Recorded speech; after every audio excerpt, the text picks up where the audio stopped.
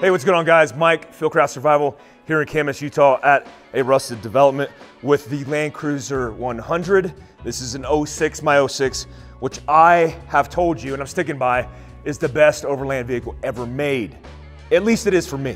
Look, you can get into a, an overland rig for whatever price point you want to nowadays, but for me, for the money, for what I want to do, which is travel on road commute, use it as a daily driver, but get off road and have the capability. This is it. Uh, I used the same rig in Yemen for a year, uh, operating all over the country, and had no issues with it.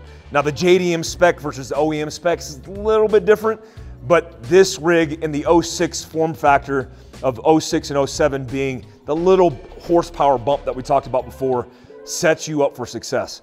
Now, one of the biggest considerations on the inside is how you build it out because you have to have stuff compartmentalized. I want things secure, and I think this way when I'm building out rigs.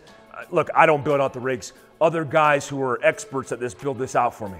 That's why I sourced Arrested Development, and also I have sourced Goose Gear, who is one of my favorite drawer systems in the US, in the world. Uh, there's a lot of drawer systems that uh, a lot of people who make different setups, but for my needs, this is the perfect setup. So first and foremost, let's go to the install footage of how this thing is put together and we'll kick it off. Here we go.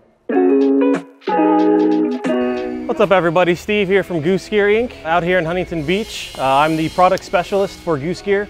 I do all of the uh, design, uh, customization, and CAD work for Goose Gear. Today we're going to be doing a rear plate system for the third row seat delete, a camp kitchen, and a drawer module for this Land Cruiser 100 we have here in front of us. Today we're going to be installing four components into the LC100. We're going to start off with our rear plate system. We're then next going to install the camp kitchen, followed by the right side module drawer and the utility cabinet.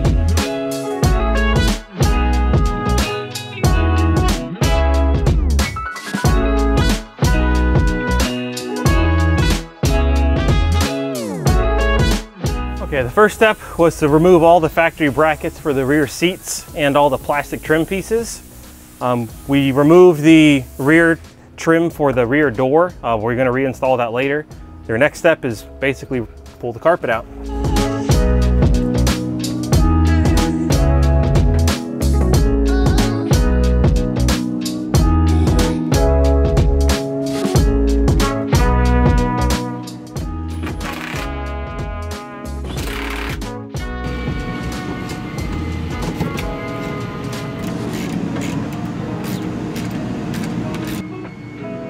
All right, so now we have our rear plate system installed. Uh, for any SUV, this is gonna be our starting base system. It's the rear plate.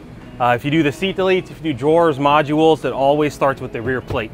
Um, this adds a nice flat foundation. You have a lot of anchor points depending if you're gonna get drawers, uh, camp kitchen, or an ice box. Or if you just want the system by itself, you can add additional anchors that we sell where you can have a nice flat surface to strap anything down that you're holding in the back.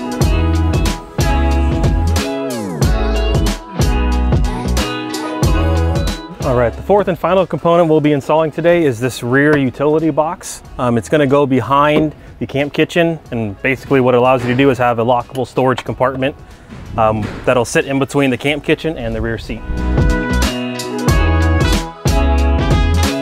All right guys, the big reveal. I'm gonna show you guys my setup.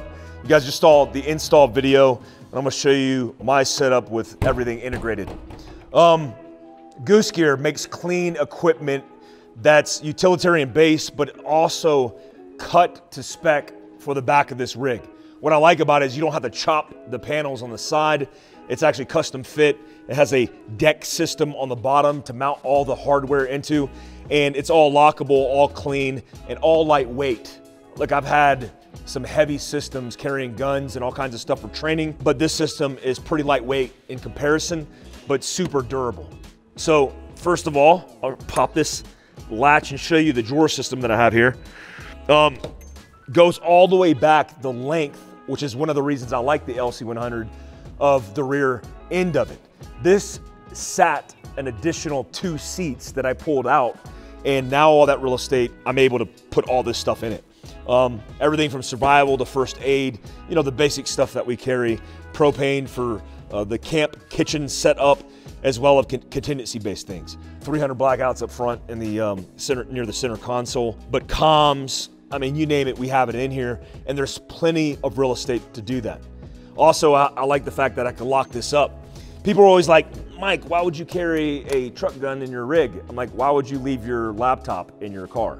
I mean, it's just like it, the stuff that I put in here is going to be expensive, and that's what I choose to do because I'm locking it. And for somebody to be able to break into this uh, after breaking into my car, uh, go ahead. That's what insurance is for. Um, what I like about this is the convenience of rolling out the stuff that I like the most, which is food and the fridge for beer.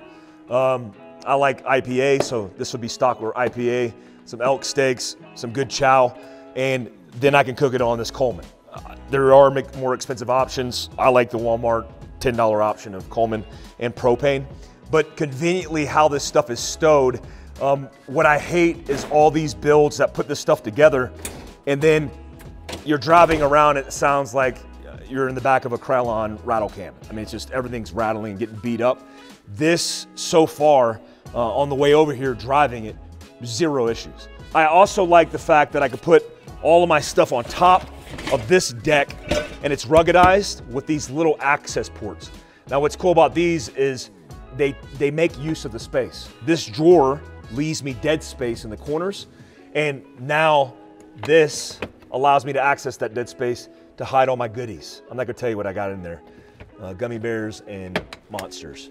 Um, looking for a monster sponsorship, by the way. Um, but I could put all the stuff that I need on top of this. And if you adapt the system that takes out the seats, you could do a three seat system or a two seat system where the entire back end of it is sleepable. Then you could put your mat, all the stuff that you need to, to live in this on top. Again, I told you before in an, another video, I'm not a fan of sleeping in rooftop tents. I've done it as long as rooftop tents were imported by Eezi-Awn in North America. Like I've, I've been doing that for, for years.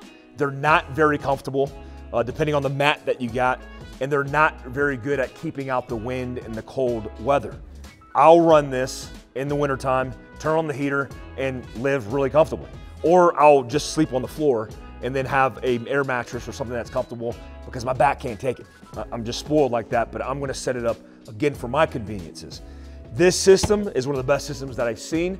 There are multiple variants of this system on goosegear.com, but make sure you check them out and stay tuned because we're going to continue to build this thing out.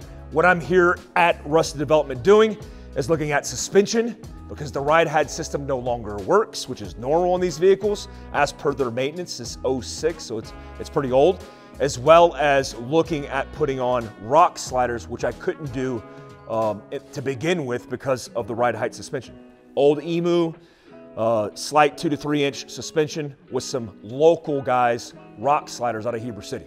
So until next time.